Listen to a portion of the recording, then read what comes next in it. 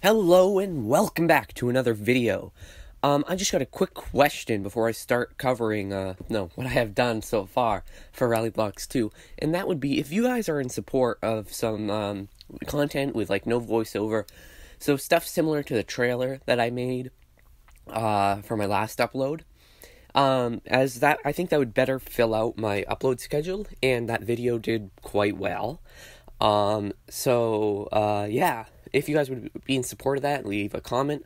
Um, if not, also leave a comment, I guess. Um, anyways, let's get right into the video and cover what I've done for Rally Blox 2. So, anyways, in the teaser trailer, you saw, uh, a good, uh, all of the cars that I made at the time. In the time since I last uploaded, though, I have two more cars done and another car that I'm be working on today. Um, the first car that I finished in that time frame, uh, was a 1998 Corolla WRC car, the E110 generation hatch, um, which is a very cool little Corolla. Um, it might be uh, the first of pro- possibly two Corollas uh, to be in the game. It's honestly probably my favorite Corolla, and I think it's a bit overlooked. Um, yeah, and I also have finished a Celica, specifically the ST205 generation, so the one without the pop up headlights. Um, and I built a wing for it, so it's it's all fully rally spec, and I have it with a Castrol livery. Um, of course, I gotta make two more liveries for it, um, as that kind of uh, segues into the other thing that I worked on and probably happiest with uh, since I last uploaded, and that is a livery select. Yeah, you're gonna be able to choose liveries now.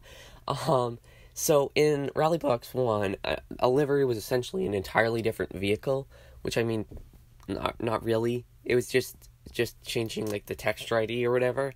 Um, now, uh, you can choose a livery. So I feel like this is a cool little uh, thing to add, as it allows players, if they like a car but don't like the livery that came with it to begin with, to have like two more options. Uh, yeah, just gives some more choice uh, and makes the game a little more interesting, in my opinion.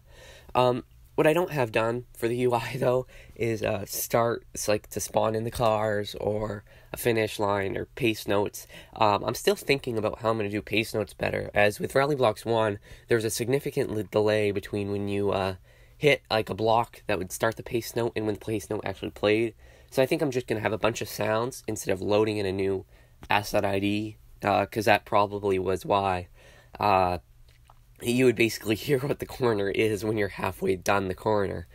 Uh, so yeah, that that's something I'm going to work on, and I also plan to have the pace notes a bit more detailed, as that's been requested a bit, as they were pretty pretty basic uh, in Rally Blox One.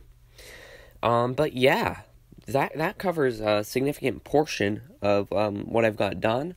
Uh, what I hope to have done by the next upload. Um, is a Ford Focus RS RX or uh, the Ken Block Rally Cross vehicle, as that was uh that was the mo- was most supported. That was a request, um, and that one in the polls uh, on my Discord server. If you want to join that, link in the description. So I'm probably going to be working on that later today, um, uh, or whenever. Well, later today at the time of recording this, I don't know. I might have already started working on it by the time I upload this video. Um, so yeah, if you want a time lapse for that, I'd totally be up for that. Uh, leave a like, I guess. Yeah. See you. Thank you for watching. Goodbye.